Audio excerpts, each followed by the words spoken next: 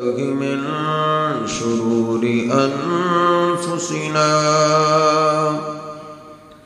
ومن سيئات أعمالنا من يهده الله فلا مضل له ومن يضلله فلا هادي له أشهد أن لا إله إلا وحده لا شريك له وأشهد أن محمدا عبده ورسوله. اللهم صل على محمد وعلى آل محمد كما صليت على إبراهيم وعلى آل إبراهيم. إنك حميد مجيد. اللهم بارك على محمد وعلى آل محمد. كما باركت على إبراهيم وعلى آل إبراهيم. إنك حميد مجيد. رب اشرح لي صدري ويسر لي أمري. واحلل عقدة من لساني يفقه قولي. رب زدني علما. سبحانك لا علم لنا إلا ما علمتنا. إنك أنت العليم الحكيم. أما بعد فإن خير الحديث كتاب الله وخير الهدي هدي محمد صلى الله عليه وسلم وشر الأمور محدثاتها وكل محدثة بدعة وكل بدعة ضلالة وكل ضلالة في النار. أعوذ بالله السميع العليم من الشيطان الرجيم. من همزه ونفخه ونفسه. بسم الله الرحمن الرحيم. يا أيها الذين آمنوا اتقوا الله حق تقاته ولا تموتن إلا وأنتم مسلمون يا أيها الناس اتقوا ربكم الذي خلقكم من نفس واحدة وخلق منها زوجها وبث منهما رجالا كثيرا. رجالا كثيرا ونساء. واتقوا الله الذي تساءلون به والأرحام. إن الله كان عليكم رقيبا. يا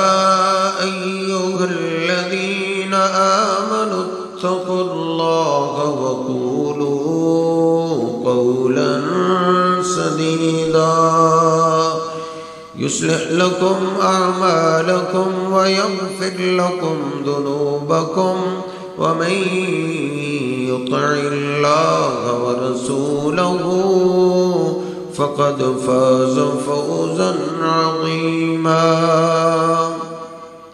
سبحان ربك رب العزة عما يصفون وسلام على المرسلين. الحمد لله رب العالمين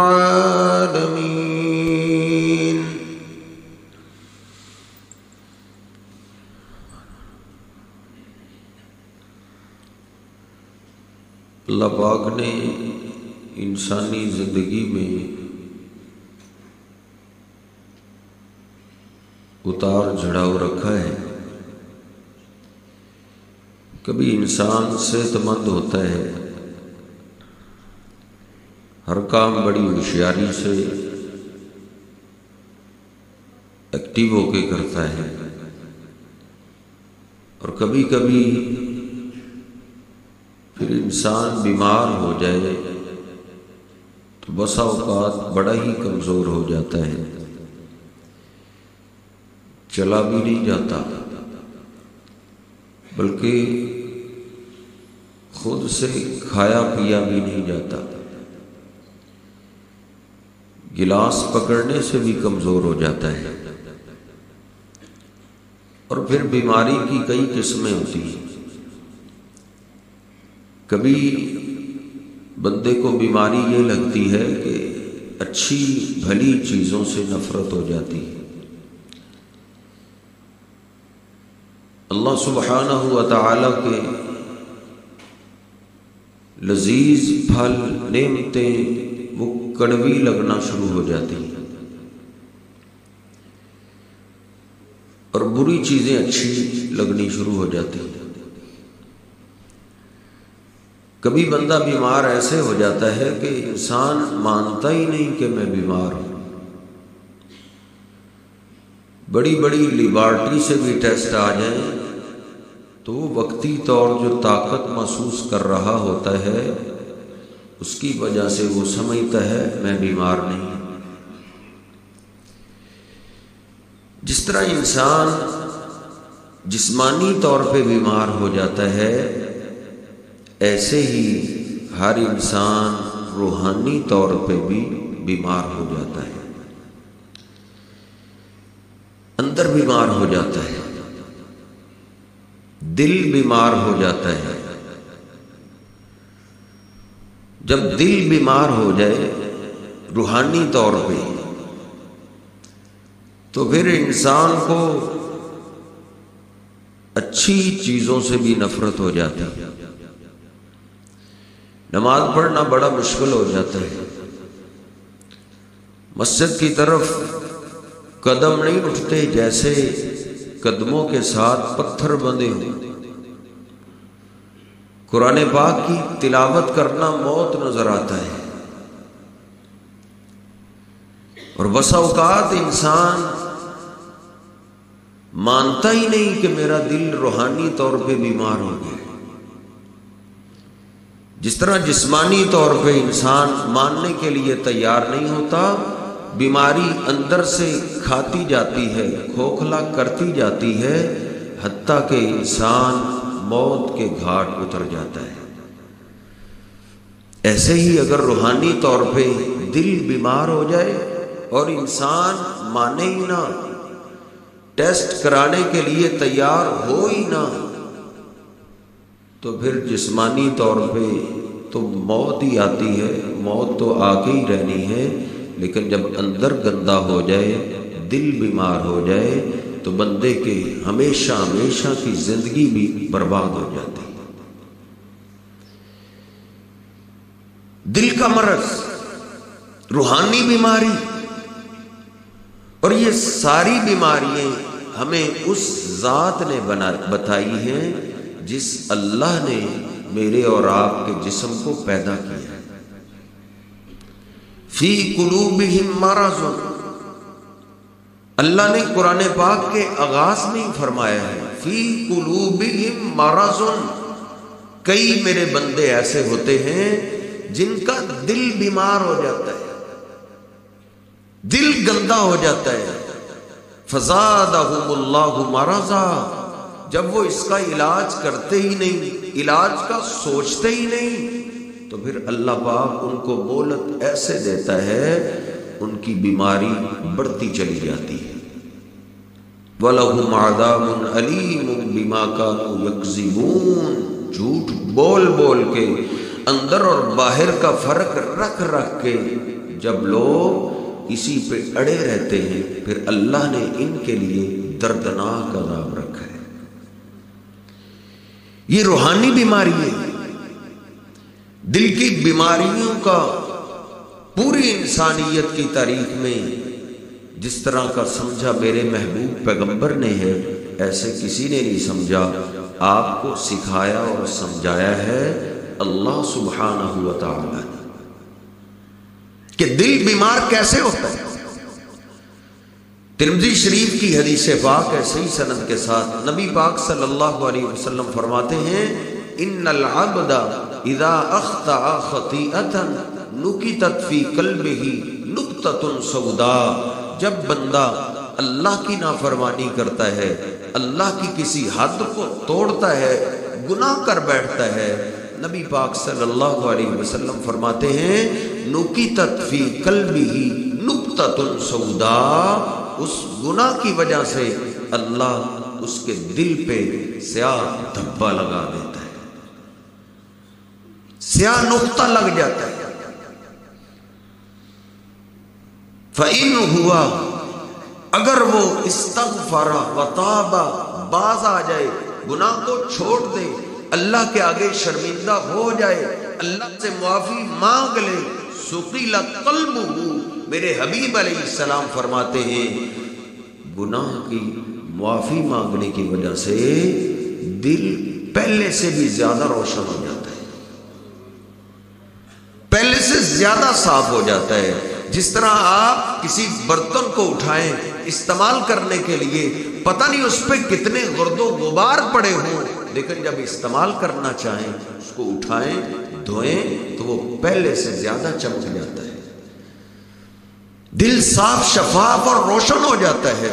فَإِنْ أَحَادَ زِيدَ نبی پاک صلی اللہ علیہ وسلم فرماتے ہیں، دیکھن اگر اس کو گناہ کرنے کے بعد بھی شرمندگی نہ ہو، واپس نہ پلٹے، معافی نہ مانگے، اللہ کے آگے اپنے آنسو نہ بہائے، نبی پاک صلی اللہ علیہ وسلم فرماتے ہیں، پھر دبے پہ دبے لگتے جاتے ہیں، سیاہ نکتے بڑھتے جاتے ہیں، حتیٰ کہ پورا دل ہی گناہوں کی وجہ سے سیاہ ہو نبی پاک صلی اللہ علیہ وسلم یہ بیان کر رہے تھے، آپ نے پھر فرمایا، اس دل پہ زنگ چڑھ جاتا ہے، جس زنگ کا ذکر اللہ نے قرآن میں کیا۔ کلا بل رانا اللہ کہتا ہے، ان کے دلوں میں زنگ چڑھ گیا ہے۔ کلا انہم ربہم یومئذ لمحجوبون ثم انہم لصال الجحیم دل سارا ہی کالا ہو گیا، دل زنگ علود ہو گیا، اس پہ پردے اور غلاف جب چڑھ گئے، ایسے ہی اللہ کے پاس دل لے کر چلا گیا، تو اللہ اس کو دیکھنا بھی پسند نہیں کرے گا۔ اللہ اس سے اپنے چہرے کو چھپا لے گا۔ انہم لصال الجحیم۔ اللہ فرمائے گا، اس کو میری آنکھوں سے، نگاہوں سے دور لے جاؤ اور اس کو جہنم میں پھر دل کالا ہو جاتا ہے۔ جب پھر بھی بندہ اپنے دل کا علاج نہ کر سکے، علاج کا سوچ ہی نہ سکے، پھر سیاہیں بڑھتی جاتی ہیں۔ حتیٰ کہ دل پہ اندھیرے ایسے چھا جاتے ہیں کہ نور بالکل ہی ختم ہو جاتا ہے۔ اللہ نے جو نوری علم زمین پہ اتارا، اس سے بندے نور حاصل کرتے ہیں۔ وہ نور دل کی دنیا سے بالکل ہی ختم ہو جاتا ہے۔ پھر اندھیرے چھا جاتے ہیں۔ اللہ پاک نے ان ہندیروں کا تذکرہ قرآن پاک میں سورہ نور میں کیا ہے۔ او کا ظلمات فی بحر لجی یغشاہ موج من فوقہ موج۔ اللہ فرماتا ہے، اس کی مثال ایسے ہی ہے جیسے گہرا سمندر ہو۔ گہرے سمندر میں نور کہاں سے آ گیا؟ ادھر تو اندھیرے ہی اندھیرے۔ اللہ فرماتا ہے، پھر گہرائی میں پانی کی موجیں اور زیادہ آ جائیں۔ موج پہ پھر موج آ جائے۔ من فوق ہی صحاب اوپر سے اندھیری رات ہو۔ اور اندھیری رات میں بھی آسمانوں کو کالی گھٹاؤں نے چھپایا ہوا ہو۔ کس طرح اتنا اندھیرا ہوتا ہے؟ اللہ فرماتا ہے، انسان اتنے اندھیروں میں ہاتھ بھی باہر نکالے تو انسان کو اپنا ہاتھ بھی دکھائی نہیں دیتا پھر انسان کو بھائی بھائی دکھائی نہیں دیتا۔ اللہ نے قرآن باغ میں بھائی کو ہاتھ کہا ہے، دل میں اتنے اندھیرے چھا جاتے ہیں کہ انسان کو اپنا سگا بھائی بھی دکھائی نہیں دیتا، اس کے بھی خون کرنے سے دریغ نہیں کرتا۔ اذا اخرج یدہ لم یکد یراہ۔ اللہ فرماتا ہے، وہ اپنا ہاتھ بھی نکالے اس کو دوسرا، تیسرا انسان کہاں سے نظر آئے؟ محلے دار کیسے نظر آئے؟ اس کا بھائی دنیا سے چلا بھی گیا ہے۔ اس کے یتیم بھتیجے، ان پہ بھی ظلم کرنے سے وہ باز نہیں آتا۔ اندھیروں میں دل چلا گیا۔ حتیٰ کہ پھر بھی انسان اگر اپنے دل کی بیماریوں کی فکر نہ کرے، تو دل کی آنکھیں بند ہو جاتی ہیں، انسان کا دل اندھا ہو جاتا ہے۔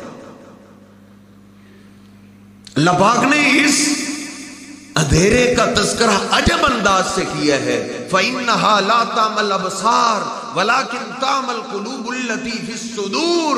اللہ فرماتا ہے، آنکھوں کا نبینہ کوئی نبینہ نہیں، اصل میں اندھا وہ ہوتا ہے، جس کا دل اندھا ہو جاتا ہے۔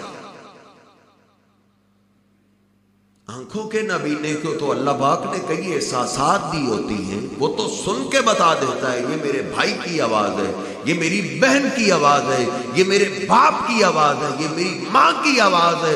وہ اپنے استاد کو بھی پہچانتا ہے، اپنے دوست کو بھی پہچانتا ہے۔ اللہ فرماتا ہے، آنکھوں کا نبینہ اصل میں نبینہ نہیں، اصل میں نبینہ وہ ہوتا ہے جس کا دل اندھا ہو جاتا ہے۔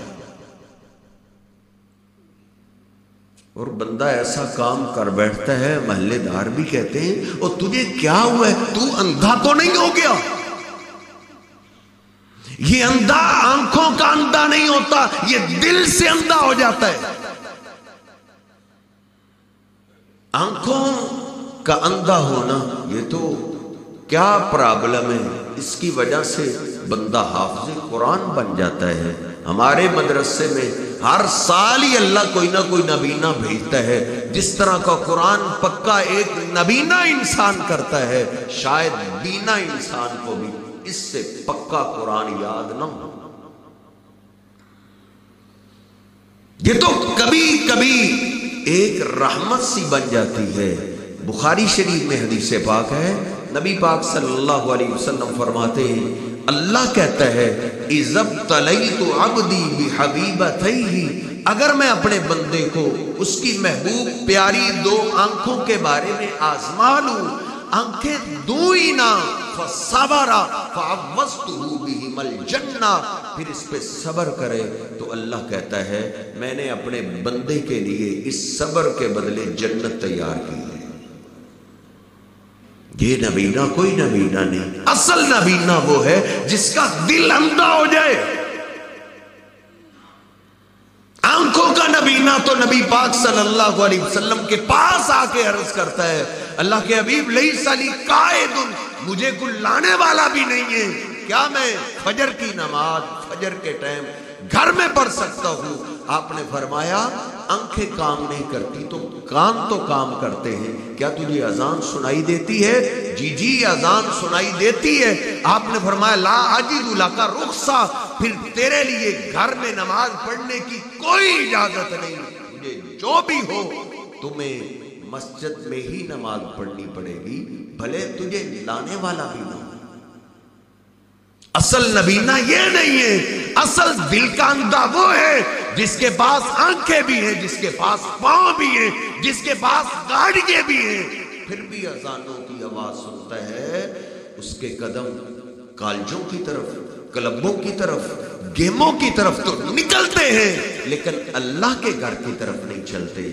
فَإِنَّهَا لَا تَعْمَلْ أَبْصَارِ وَلَكِنْ تَعْمَلْ قُلُوبُ الَّتِي فِي الصُّدُورِ۔ اصل میں اندھا وہ ہے جو دل کا اندھا ہوئے پھر اگر کوئی خوش نصیب ہو اور فکر کر لے اور کسی بات پہ اس کا دل پگھل جائے اس کو سمجھ آ جائے، علاج کر لے، اللہ اس کے دل کو بھی صاف کر دیتا ہے۔ لیکن اگر اس دل کی بھی صفائی نہ کر سکا، علاج نہ کر سکا، تو پھر گناہ کرتے کرتے، فرائض چھوڑتے چھوڑتے انسان کا دل پتھر ہو جاتا ہے اللہ پاک نے ان دلوں کا تذکرہ قرآن پاک میں کی ہے۔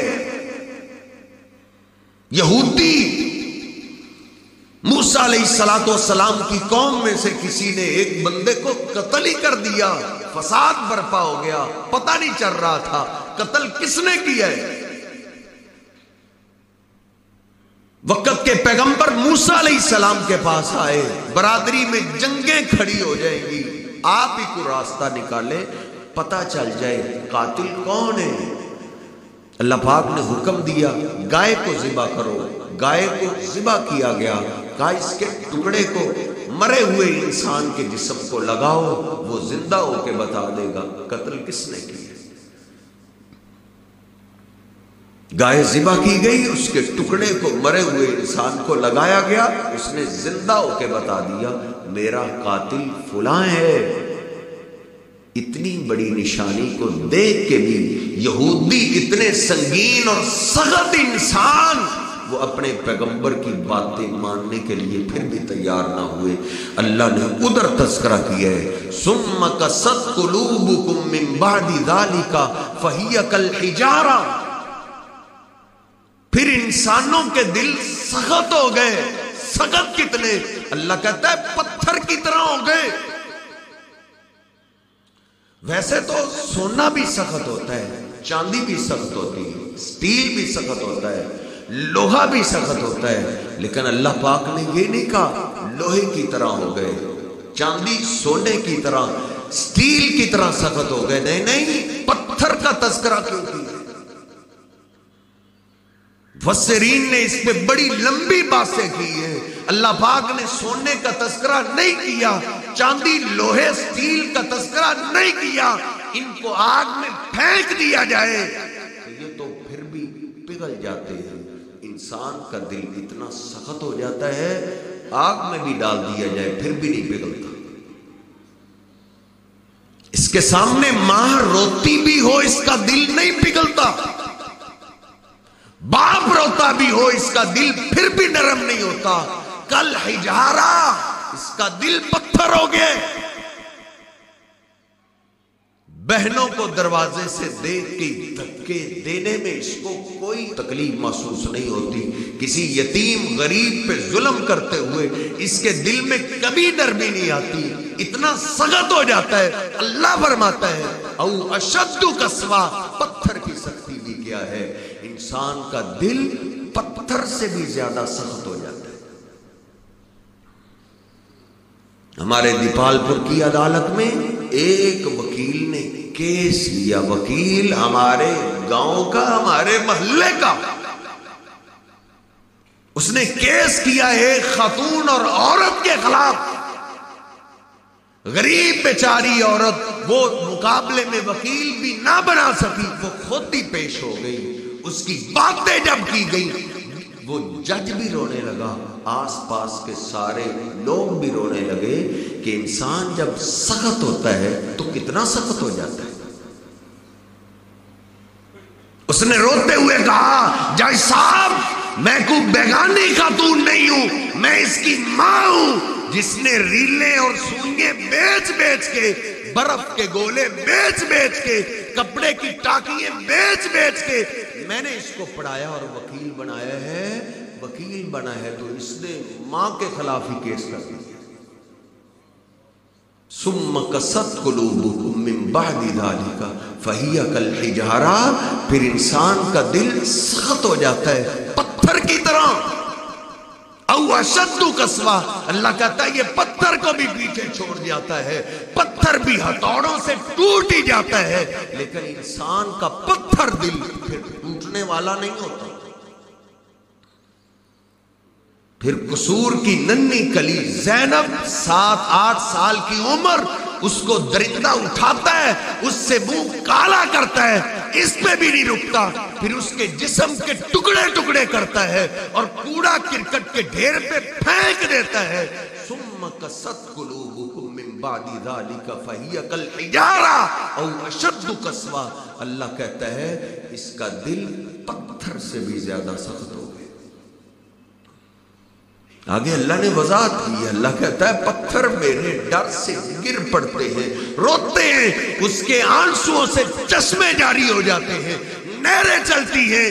یہ جو نہروں کی شکل میں پانیوں کے سلاب آتے ہیں، اللہ کے ڈر کی وجہ سے یہ پتھروں کے بنے ہوئے پہاڑ روتے ہیں اور ان کے آنسو ہوتے ہیں۔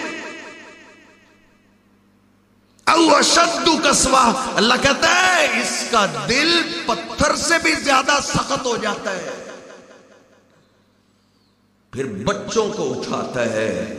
ماں باپ کے دل پہ کڑھاڑے چلاتے ہوئے ان سے منہ کالا کرتا ہے اور اس کو تذاب کے ڈرم میں پھینک دیتا ہے۔ پھر دوسرا بچہ، پھر تیسرا بچہ، وہ سو پورا کرنے میں بھی اس کا دل نہیں پگلتا او اشد قصوا اللہ کہتا ہے، انسان کا دل پتھر سے بھی زیادہ سخت ہو جاتا ہے۔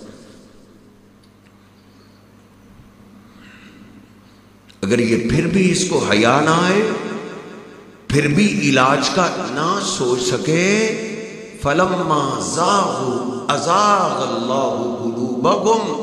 اللہ فرماتا ہے، پھر اس کا دل ٹیڑا ہونا شروع ہو جاتا ہے۔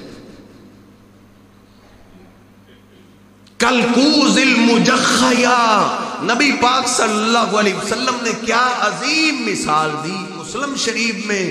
آپ فرماتے ہیں ٹیڑا ہوتے ہوتے دل اس کا الٹا ہو جاتا ہے۔ صحابی فرماتے ہیں، نبی پاک صلی اللہ علیہ وسلم نے ایسے ہتیلی کا اشارہ کیا کہ جیسے کسی برتن کو الٹا ہی کر دیا جائے، کسی پلیٹ یا کسی گلاس کو الٹا ہی کر دیا جائے، اس پہ آسمان سے موسلا دھار بار سے کیوں نہ نازل ہو، اس کو ٹیوبل کے نیچے بھی کر دیا جائے۔ پانی تو بہت زیادہ آتا ہے لیکن گلاس کے اندر کچھ نہیں جائے گا، پھر اس کے دل پہ اثر ہی ختم ہو جاتا ہے۔ پھر اس کا دل الٹا ہو جاتا ہے۔ اللہ فرماتا ہے، وَلَوْ أَنَّنَا نَزَّلْنَا إِلَيْهِمُ الْمَلَائِكَ وَكَلَّمَهُمُ الْمَوْتَى وَحَشَرْنَا لَهُمْ كُلَّ شَيْءٍ قُبُولًا اللہ فرماتا ہے، اگر ہم آسمان سے فرشتے اتار دیں، فرشتے اس کو باز کرے فرشتے اس کو سمجھانا شروع کرے، یہ پھر بھی نہیں مانے گا۔ اگر اس کے رشتہ دار، اس کے دوست احباب، اس کے بزرگ مرے ہوئے قبروں سے اٹھائیں اور اس کو سمجھانا شروع کر دے آگے ایسے ایسے حالات ہیں، واپس پلٹا۔ یہ پھر بھی نہیں پلٹے گا۔ اللہ فرماتا ہے، ایک ایک چیز اس کے سامنے لے آئیں۔ آسمان آ کے اس سے بات کرے، چاند اس سے بات کرے، سورج بات کرے، واپس پلٹا۔ اس کا برتن اتنا الٹا ہو گیا ہے کہ یہ کسی کا واز قبول کرنے کے لیے تیار ہی نہیں ہوتا۔ جب دل کی نوعیت اندر اتنا خراب ہو جاتا ہے، ختم اللہ علی قلوبہم، پھر اللہ اس دل پہ مور لگا دیتا ہے پھر کاری اشرف کیا اور دوسرا تیسرا خطیب کیا؟ سواؤن علیہم انذرتہم ام لم تنذرہم لا یومنون دنیا کا خطیب کیا؟ میرے رب کی قسم ہے۔ اگر اللہ کے محبوب پیغمبر زندہ ہو کے آ جائیں وہ اس کو سمجھانا شروع کر دیں اس کا دل اتنا الٹا ہو جاتا ہے، ان کی واض و نصیحت اور بات ماننے کے لیے بھی تیار نہیں ہے۔ پھر دل بالکل الٹا ہو گیا، مور لگ گئی۔ اس سے زیادہ خطرناک کوئی بیماری نہیں۔ اس لیے ہمیں اس کے علاج کا سوچنا چاہیے۔ جب دل یہاں تک پہنچ جاتا ہے، کئی بیماریاں پھر جنم لیتی ہیں۔ اس میں سے سب سے خطرناک بیماری یہ ہوتی ہے کہ انسان کے دل سے شرم و حیا بالکل ہی ختم ہو جاتا ہے۔ پھر ہر بہن، ہر بیٹی، ہر ماں، ہر خالہ، ہر عورت اور ہر اللہ کی بندی کو انسان بری نگاہ سے دیکھتا ہے۔ پھر خیال بالکل ختم ہی ہو جاتا ہے۔ لم تستحی فسنا معاشیتا میرے حبیب فرماتے ہیں، جس طرح توحید ہر پیغمبر کے دین میں رہی ہے، ایسے ہی ہر پیغمبر کی شریعت میں یہ رہا ہے، جب حیا نہیں تو پھر جو مرضی کر، پھر کچھ بھی نہیں۔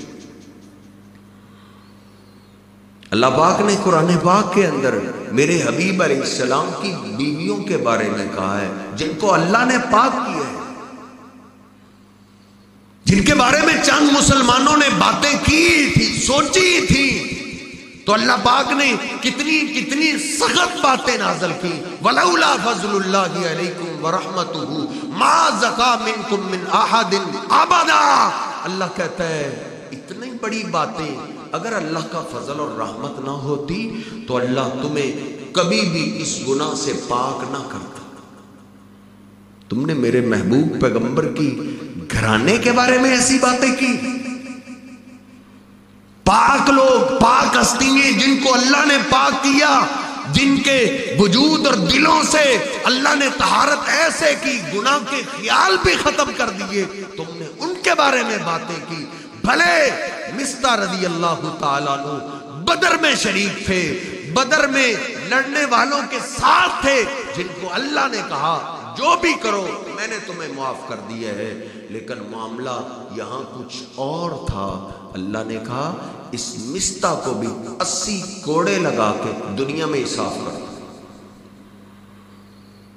اللہ فرماتا ہے، ولولا فضل اللہ علیکم ورحمتہ فی الدنیا والآخرہ لمسکم فیما فستم فی عذاب عظیم اگر تم پہ اللہ کا فضل اور رحمت نہ ہوتی دنیا میں بھی اور آخرت میں بھی اللہ تمہیں سخت عذاب دیتا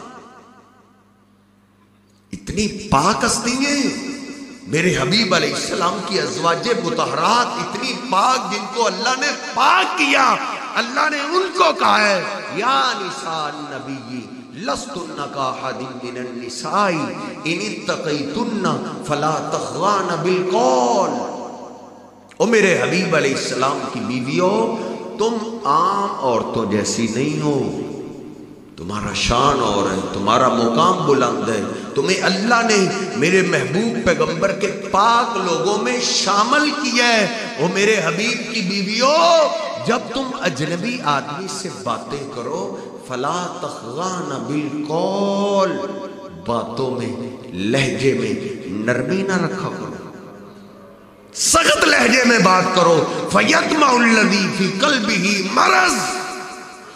اگر کہیں تم نرم لہجے میں بات کرو، تو جس کے دل میں ہے ہی بیماری، کہیں اس کے دل میں برے خیالات تمہارے بارے میں شروع نہ ہو جائے